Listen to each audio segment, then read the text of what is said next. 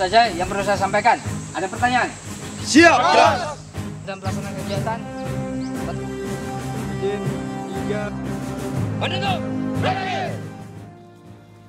Seen here is the Indonesia-Malaysia Border Security Task Force from 621 Manuntung Infantry Battalion before they depart to Nunukan Regency, North Kalimantan to patrol boundary markers between Indonesia and Malaysia.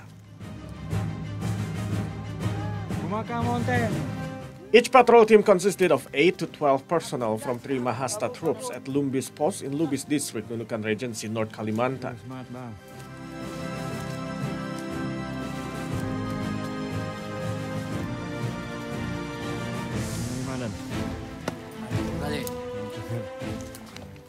It was not easy to execute this special mission. In addition to the long journey, they must penetrate a jungle that was rarely explored by humans for 15 days, while bringing some basic necessities to survive. Pam pam pam. The main goal of this mission was to find and maintain boundary markers between Indonesia and Malaysia, and ensure that they are in good condition to mark the territory of the two countries.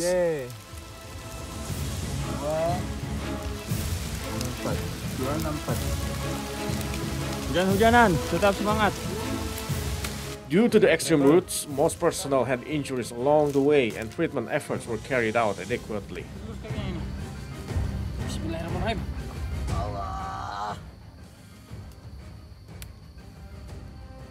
Tegang, tegang, tegang.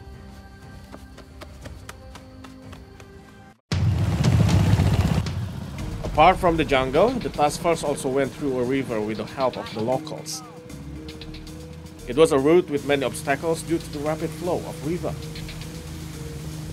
Despite that, the river was an ideal resting place with various trees and available water source.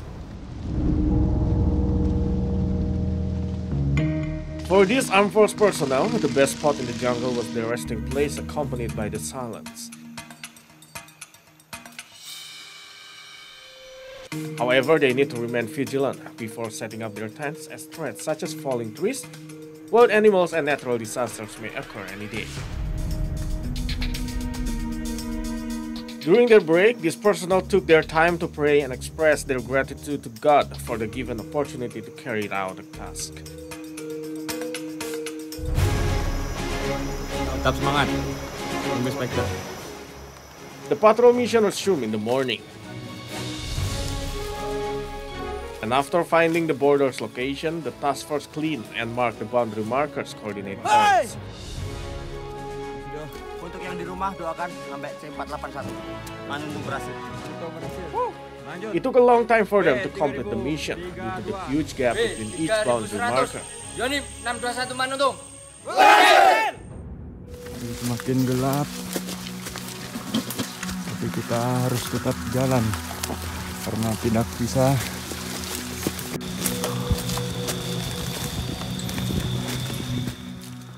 Extreme terrain and weather did not stop the task force from completing their mission.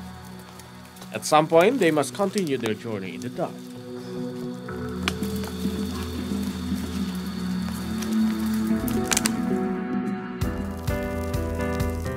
Though they only brought food supplies for only 15 days, they would still receive logistics. They were sent through a helicopter if they ran out of supplies.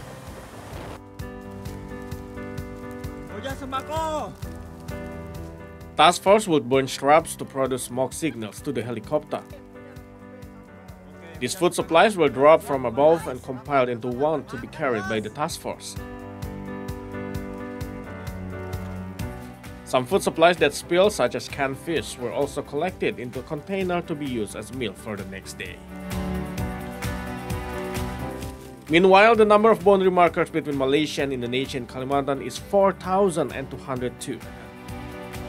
The task force were able to find 3,743 boundary markers, while the others 459 have yet to be found. The mission is also considered a success after they have discovered some boundary markers that remain missing since 1977. Dari Patok C200. Yonif 621 Manuntung. Berhasil. Tujuan dari patroli patuh kan jelas ini merupakan tugas pokok kita. Jadi tugas pokok kita itu kalau saya sampaikan yang paling utama yaitu menjaga ataupun mengamankan perbatasan dengan melaksanakan patroli patok perbatasan.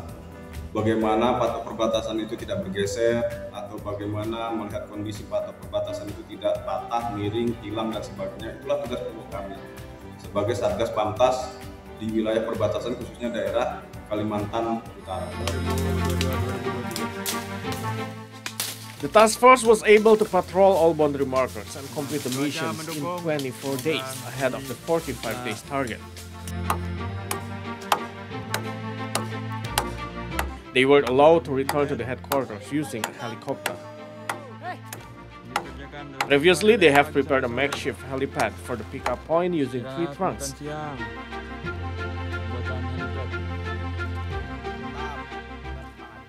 The task force also ate their last meal together in the jungle while waiting for the helicopter's arrival.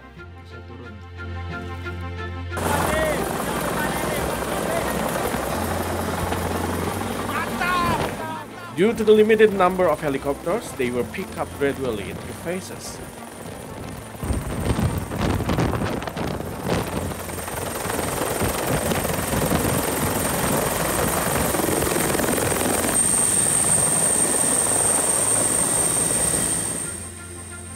They finally departed to the headquarters of Indonesia-Malaysia Border Security Task Force in Nunukan Regency.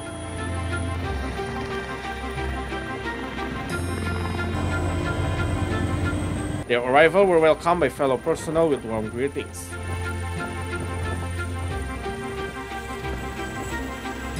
It was an emotional moment for the task force indeed, as they were able to complete their most important mission yet.